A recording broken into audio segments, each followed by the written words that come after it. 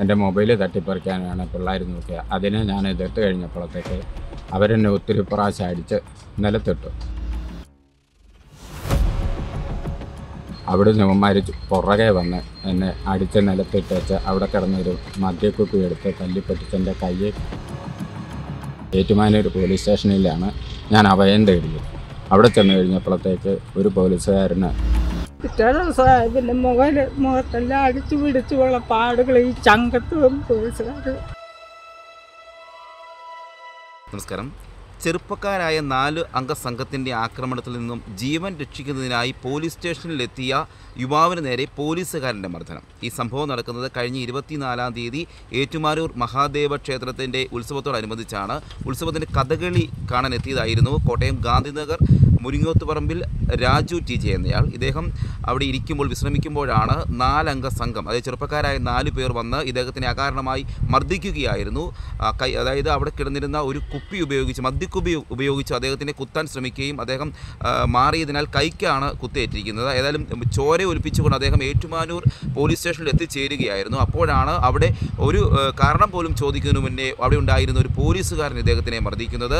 പിന്നീട് സംഭവ സ്ഥലത്ത് എത്തിക്കുകയും ഈ നാലംഗ സംഘത്തെ ആക്രമണം നടത്തിയ നാല് പേരെ പോലീസ് പിടികൂടുകയായിരുന്നു.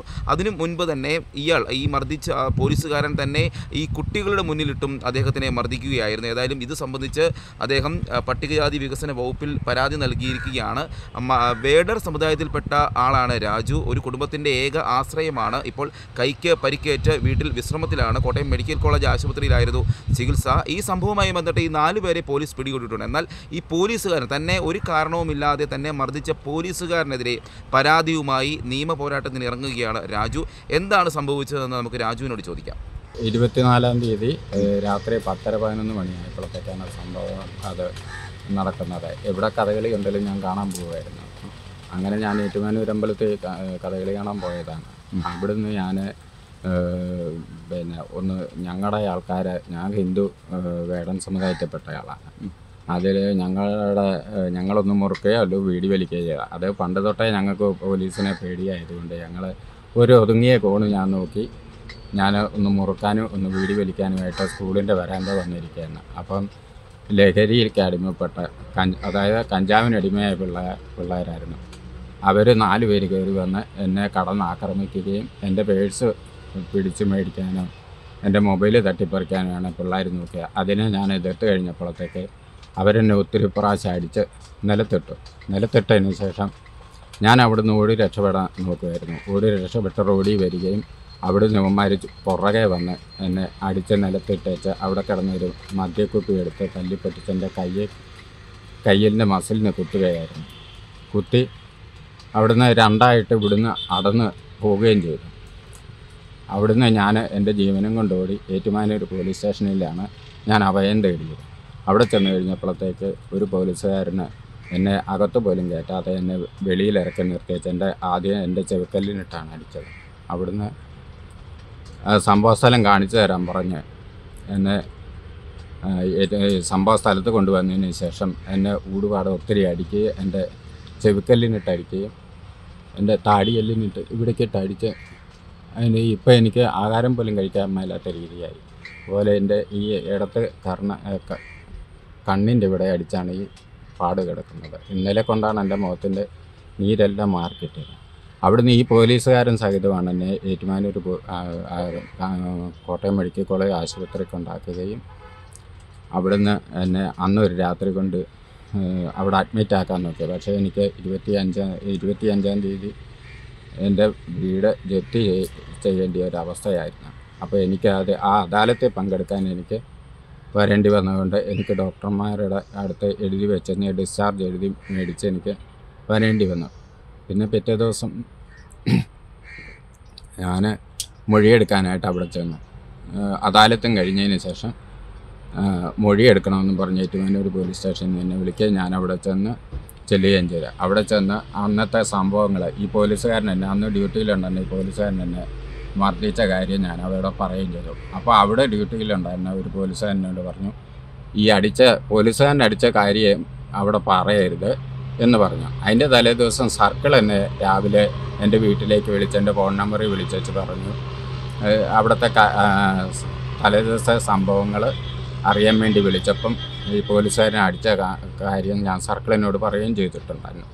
അപ്പോൾ സർക്കിൾ ഏത് പോലീസുകാരനാണ് എന്ന് ചോദിച്ചു. എനിക്കത് അറിയത്തില്ലായിരുന്നു ഏത് പോലീസുകാരനാണെന്നുള്ളത് എനിക്കറിയത്തില്ല. പക്ഷേ എനിക്ക് കണ്ടാൽ ആളിനെ അറിയാം. അവർ മൂന്നും കൂടെയാണ് മെഡിക്കൽ കോളേജ് കൊണ്ടുവരികയും ചെയ്തത്. പിന്നെ അപ്പോൾ സർക്കിൾ പറയുകയും ചെയ്തു. പോലീസുകാരനെതിരെ നടപടി എടുക്കുകയും ചെയ്യാമെന്നും പറഞ്ഞിട്ടുണ്ടായിരുന്നു. പിന്നെ ഒരു വ്യക്തിയുടെ അവകാശം അവന് എവിടെ ഇരിക്കണമെന്നുള്ളത് അത് പോലീസുകാരന് ചോദ്യം ചെയ്യേണ്ട കാര്യമില്ലെന്ന് സർക്കിൾ എന്നോട് എടുത്തു പറയുകയും ചെയ്തു എന്ന് പറഞ്ഞു. അത് എനിക്കിട്ടടിച്ച കാര്യം ഡോക്ടർമാരോട് പറയുകയും വേണമെന്ന് എന്നോട് പറഞ്ഞു. അത് ഞാൻ പറയുകയും ചെയ്തിട്ടുണ്ടായിരുന്നു. കൈക്ക് കുത്തേറ്റപ്പോഴത്തേക്ക് എന്റെ ജീവന് വേണ്ടിയാണ് ഞാൻ വേണ്ടി വേണ്ടിയാണ് ഞാൻ ഏറ്റുമാനൂർ പോലീസ് സ്റ്റേഷനിൽ ചെന്ന് ഹാജരായി. എന്റെ കാര്യങ്ങൾ കരഞ്ഞു വിളിച്ച് ഞാൻ പറയുകയും ചെയ്തിട്ട് അവർ അത് ഉൾക്കൊള്ളാതെയാണ് എനിക്കിട്ട് അടിക്കുക. എന്റെ വാക്കുകൾ എല്ലാം കേൾക്കാതെ പിള്ളേരുടെ സൈഡിൽ നിന്നാണ് എങ്ങനെ സൈഡിൽ നിന്നാണ് എനിക്കിട്ട് പിള്ളേരുടെ കാങ്ക വരെ ആയിരുന്നു എനിക്കിട്ട് അടിച്ചത് എടുത്തതുമില്ല അതിപ്പം എന്റെ കുടുംബത്തെ എന്റെ അമ്മയ്ക്ക് പത്ത് എഴുപത്തഞ്ച് വയസ്സായതാണ് ആ എഴുപത്തഞ്ച് വയസ്സായ അമ്മയ്ക്ക് ഒരു മാസം തൊള്ളായിരം രൂപ മുടക്കെയാണ് മരുന്ന് മേടിച്ചുകൊണ്ടിരിക്കുന്നത് ചേട്ടൻ എന്താണ് ജോലി? എനിക്ക് കൂലിപ്പണിയാണ് ജോലി. എനിക്ക് പണിയൊന്നും ഇല്ലെങ്കിൽ ആക്കറി പെറുക്കിയാണ് ഞാൻ ജീവിക്കുന്നത്. അതിപ്പോഴും ഉണ്ട്. കൊണ്ട് എനിക്കതുപോലെ എന്റെ പേര ഒരു ലക്ഷത്തി നാൽപ്പതിനായിരം രൂപ കടത്തെ കിടക്കുന്നതാണ്. എനിക്ക് ജപ്തി നോട്ടീസും വന്ന് കിടക്കുകയാണ്. ഒമ്പതിൽ പഠിക്കുന്ന ഒരു പെൺകൊച്ച് പിന്നെ പ്ലസ് ടു കഴിഞ്ഞ ഒരു വേണം എനിക്കുള്ളത്. അവനിന്ന് വരെ ഒരു ജോലി ആയിട്ടില്ല. പിന്നെ ഭാര്യ ഇവിടെ അടുത്തൊരു മെഡിക്കൽ കോളേജിലെ ഒരു ഡോക്ടറിന്റെ വീട്ടിൽ വീട്ടുപണിക്ക് പോയി എടുത്തുമൊക്കെയാണ് ഈ ഇപ്പം കഴിഞ്ഞു പോകുന്നത്. ഇപ്പം എനിക്ക് പണിയെടുക്കാനും മേലെ എനിക്ക് ബാക്കി പൈസ തുക അടയ്ക്കാനും ഒന്നും എനിക്ക് പറ്റുകയില്ലാത്ത അവസ്ഥയെ എന്നെ ഈ പരുവത്തിലാക്കി. അതിന്റെ കൂടെ എന്റെ ജീവനും കൊണ്ട് ഞാൻ ഏറ്റുമാനൂർ പോലീസ് സ്റ്റേഷൻ അവിടുന്ന് എനിക്ക് കിട്ടിയ ശിക്ഷയാണ് എന്റെ മുഖത്ത് കാണുന്ന പാടുകളും ഒക്കെ. എനിക്ക് അതിനായി സംബന്ധിച്ച് പരാതി കൊടുത്തിട്ടുണ്ടോ നിങ്ങൾ? അത് ഞാൻ പട്ടികജാതി വികസന ഓഫീസർക്ക് പരാതി കൊടുത്ത് അവിടുന്ന് പിന്നെ ഇന്ന് ഡി എസ് പിക്ക് തന്നെ അത് കേസ് കൊടുത്തേക്ക് പരാതി കൊടുത്തേക്കാം ഏൽപ്പിച്ചേക്കാമെന്നാണ് പറഞ്ഞിരിക്കുന്നത്. ഈ പോലീസുകാരനെതിരെ നടപടിയെടുത്ത് ഞങ്ങളുടെ ജീവൻ രക്ഷിക്കണമെന്നാണ് ഞാൻ പറയുന്നത്. ഈ പോലീസുകാരതെ ഞങ്ങൾക്കൊരു ബുദ്ധിമുട്ട് വന്നു കഴിഞ്ഞാൽ ഞങ്ങൾ പോലീസുകാരെ അല്ലാതെ ആരെയാണ് ഞങ്ങൾ ആശ്രയിക്കേണ്ടത് അയാൾ അത്രയ്ക്കും ക്രൂരമായിട്ടാണോ നിങ്ങൾ ക്രൂരമായിട്ടാണ് ഈ ഈ പാട് ഈ കറുത്ത പാട് കിടക്കുന്നത് ആ പോലീസുകാരൻ തന്നെ അടിച്ച് ഈ താടിയെല്ലിനിട്ട് ഇടിച്ചു. നീരായിരുന്നു. ഈ ഒരു വശം അത് പോരാഞ്ഞിട്ട് എന്നെ നെഞ്ചത്ത് ഇടി ഇടിക്കുകയായിരുന്നു. ചെറുപ്പക്കാരായിരുന്നു പോലീസ് ചെറുപ്പക്കാരൻ പോലീസുകാരനായിരുന്നു ചേട്ടൻ പറഞ്ഞില്ലേ എന്നെ അടിക്കരുത് ഞാൻ പറഞ്ഞു എന്നെ എന്ത് എന്റെ വാക്ക് കേൾക്കാതെ എന്തുകൊണ്ടാണ് എന്നെ എന്നെ കൊണ്ട് പറയിപ്പിക്കാൻ ആ പോലീസുകാരൻ സമ്മതിച്ചില്ലായിരുന്നു. രക്തമൊക്കെ ഒലിച്ചിരിക്കുന്നത് കണ്ടില്ലായിരുന്നു? ആ കണ്ടു. കണ്ടു ഈ രക്തം ഒലിച്ച എന്റെ മുണ്ടും ഷർട്ടും മൊത്തം ബ്ലഡ് ആയിരുന്നു അതെ. ഞങ്ങൾ ഇനി നീതി തേടിയ പോലീസ് സ്റ്റേഷനിലാതെ ഞങ്ങൾ ആരെ ആശ്രയിക്കേണ്ടിയത്? ഞങ്ങൾ ആശുപത്രി ചെന്നപ്പോഴത്തേക്ക് ഇവനിങ്ങനെ രക്തത്തിൽ കുളിച്ച് കിടക്കുന്നതായിട്ടാണ് കണ്ടത്. പിന്നെ എന്റെ സമ്മതം അങ്ങ് വിട്ടുപോയി. പിറ്റേ ദിവസം പിന്നെ മുഖൽ മുഖത്തെല്ലാം അടിച്ചു പിടിച്ചുള്ള പാടുകൾ ഈ ചങ്കത്തും പോലീസുകാർ തൊടിച്ചതുമാണ് ഇടിച്ചതാണ് ചെയ്ത്. അവനെ ഞാൻ ഈ കുടുംബം പോറ്റുന്ന എനിക്ക് അമ്മയ്ക്കും മരുന്നെല്ലാം മേടിച്ച് തരുന്നു. ഈ പെരെ ഇങ്ങനെ ചെയ്ത് കിടക്കുന്നു. അവനൊന്ന് സഹായിക്കാൻ നടക്കുന്ന ആരും എത്ര കുത്തിക്കിട്ടുണ്ടെന്നറിയാമോ ഇല്ല കറക്റ്റ് അറിയത്തില്ല. എന്റെ കൂടെ ആരും ഇല്ലായിരുന്നു വേറെ എന്ന്. പിന്നെ ഇത് മരപ്പിച്ചാ ചെയ്തത്. അതുകൊണ്ട് എത്രയാന്ന് കറക്റ്റ് അറിയത്തില്ല. പോലീസുകാർ അത് ആ സമയം വരെ കൂടെ നിന്നോ പോലീസ്? കറക്റ്റായിട്ട് അറിയത്തില്ല. പിന്നെ എന്റെ ഒരു ഉം, കരോട്ട് പിന്നെ അടുത്ത് താമസിക്കുന്ന ഒരു പയ്യനെ അവിടെ ജോലി ചെയ്യുന്നുണ്ടായിരുന്നു. ആ പയ്യനെ എന്നെ അറിയാവുന്നതുകൊണ്ട് ആ പയ്യനെ കൊണ്ടാണ് വീട്ടുകാരോട് വിളിപ്പിച്ചതും എടുത്തതും. കൊച്ചിന്റെ ഫോണിലോട്ട് വിളിച്ച് പറഞ്ഞു നമ്മൾ നീതി തേടി അല്ലെ ജീവൻ രക്ഷിക്കാൻ വേണ്ടി നമ്മൾ പോലീസുകാരെ അല്ലാതെ ആശ്രയ ആ- ആരെ ആശ്രയിക്കുന്നത്? പക്ഷെ പോലീസുകാരും ആ പരിഗണന പോലും ഈ ബ്ലഡ് കണ്ടിട്ട് പോലും ആ പരിഗണന പോലും കാണിക്കാതെയാണ് എന്നെ അടിയടിച്ചത്. അത് പിള്ളേരുടെ ആ ലഹരിയിലുള്ള പിള്ളേരുടെ കാര്യം. എന്നിട്ട് അവർക്ക് ബോധമില്ലെന്ന് പറയും. അവർക്ക് പിള്ളേർ ഈ ലഹരി കഴിച്ച പിള്ളേരെക്കായി ബോധമില്ലായ്മയായിരുന്നു ആ പോലീസുകാരനെന്ന് എനിക്ക് തോന്നുന്നത്. അത് കഴിഞ്ഞ് ഈ എന്നെ ആശുപത്രിയിലോട്ട് കൊണ്ടുവരുമ്പോഴത്തേക്ക് ഈ ഇവർ തന്നെ പറയുന്നുണ്ട് അത് ഇന്നയാണ് പിള്ളേരെ ഇന്നയാണ് പിള്ളേരാന്ന്. ഈ പോലീസുകാർ തന്നെ അങ്ങോട്ടും ഇങ്ങോട്ടും സംസാരിക്കുന്നത് ഞാൻ കേൾക്കുന്നുണ്ട്. അപ്പം ഈ പോലീസുകാർക്ക് അറിയാവുന്ന പിള്ളേരാണോ എന്ന് എനിക്കൊരു സംശയമുണ്ട് എന്ത് പരിപാടി കാണാൻ വേണ്ടിയാണോ പോയത്?